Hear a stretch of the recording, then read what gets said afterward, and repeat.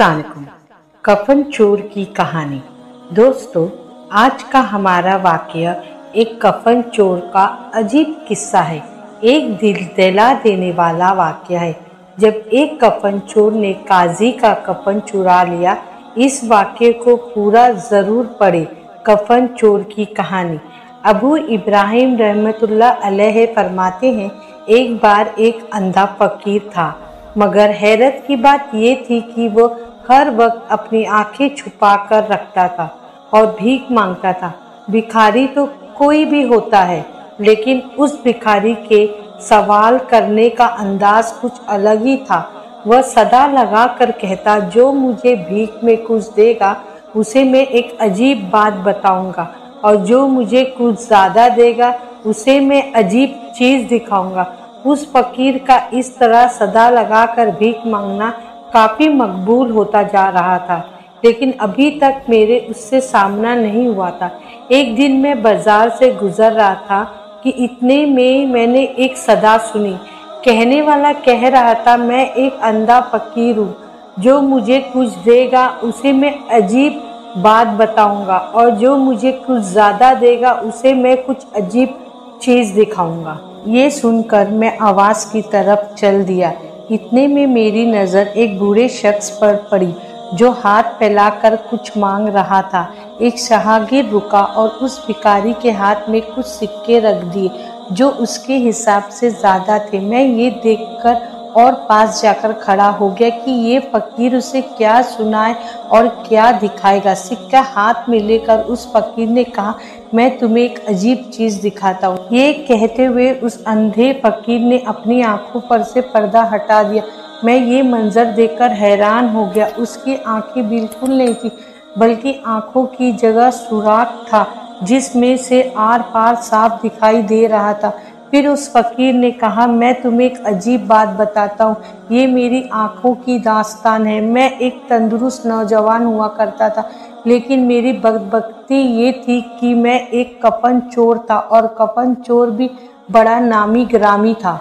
मेरे बारे में मेरे शहर के सभी लोग जानते थे कि मैं मुर्दे के दफन होते ही पहली रात में कफन चुरा लेता हूँ। लोग इस वजह से मुझसे खौफ खाते और मुझे वहशत की नज़र से देखते थे, लेकिन मुझे उस रोग और दबदबे पर बहुत नाज था कि लोग मुझसे खौफ खाते हैं और जब मैं चलता था तो तकबर के साथ चलता। लोग मुझे हिकारत की निगाहों से देखते थे, लेकिन इन सब का मुझ पर कुछ असर नहीं पड़ता था। मुझे तो खुद कोई खौफ खुदा ना था और अगर कोई अल्लाह वाला मुझे समझाता या नसीहत करता तो वो करता भी कैसे? वह सब मुझसे बहुत डरते थे। उसकी एक बड़ी वजह ये थी कि वैसे आम इंसान दिन की रोशनी में कब्रस्तान जाने से डरता है और मैं रात में जाता और वो भी एक ताज़ा दफन हुआ मुर्दे के कब्र में गुजारने वाली पहली रात में, जिस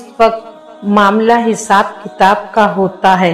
मैं जाकर उसका कफन चुरा लिया करता था और उस कफन को बेच दिया करता था। बस यही वजह थी कि सभी मुझसे किसी शैतान से कम नहीं समझते थे और लोग मुझसे डरते भी थे। जब भी किसी का कोई अपना दुनिया से रुखसत होता तो उन्हें इस बात का मुकम्मल यकीन होता कि दफन होते ही मैं उसका कफन चुरा लूँगा। लोग कई कई रातों तक अपने दफनाए हुए मुर्दे का ख्याल करते थे। कब्र पर बैठकर रातों को पहरा देते कि कहीं मैं आकर कफन न चुरा लूँ। और जब भी कोई मुर्दा कब्रस्तान में दफन हो जाता था और पहली रात उसके पास कोई ना होता तो मैं जाकर उसका कफन चुरा लेता था और हमेशा मैं ऐसे ही किया करता था। लेकिन एक बार कुछ ऐसा हुआ जिसके बाद से सब कुछ बदल गया। हमारे शहर का काजी बहुत अमीर हो गया। बीमारी भी ऐसी कि उसे खुद उसके बचने की कोई उम्मीद नहीं थी।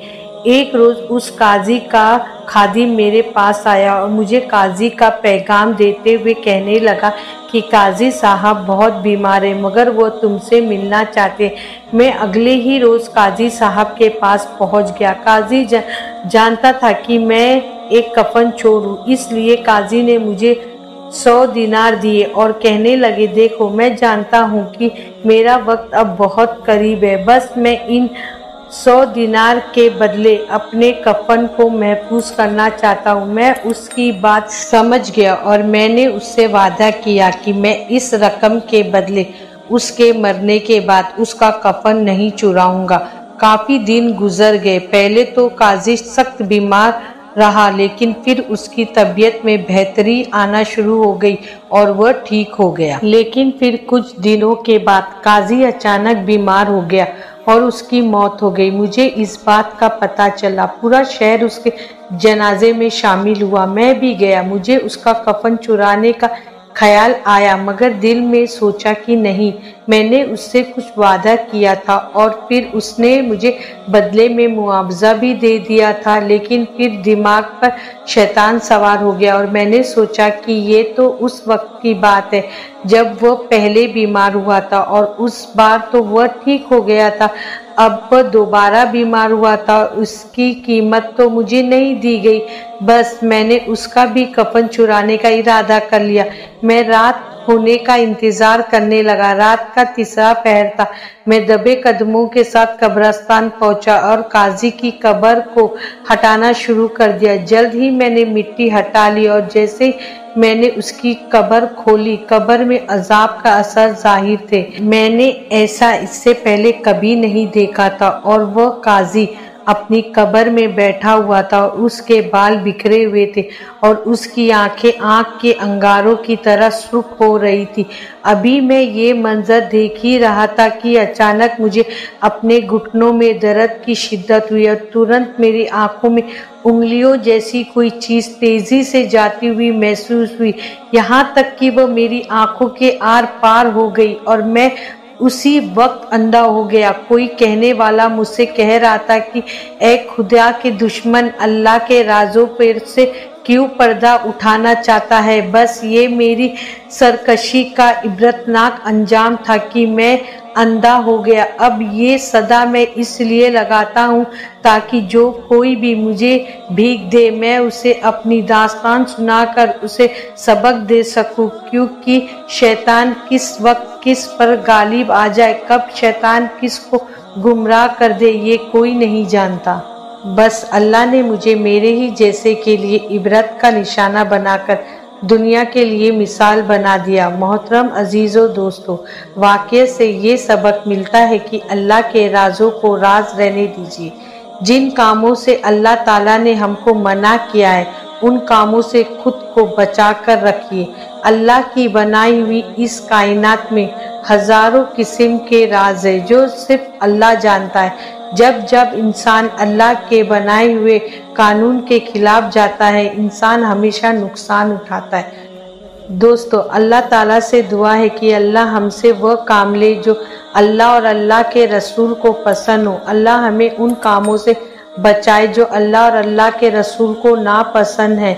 उम्मीद है आपको हमारी ये वाक्य कफन चोर की कहानी पसंद आई होगी। आप अपनी राय नीचे कमेंट में लिख कर ज़रूर बताएँ कि आप क्या सोचते हैं। अगर आपको हमारी ये वीडियो पसंद आई तो लाइक शेयर और सब्सक्राइब ज़रूर कीजिएगा और नोटिफिकेशन का बेल बटन ऑन रखिए कि हमारी वीडियो आप तक पहले पहुँचे।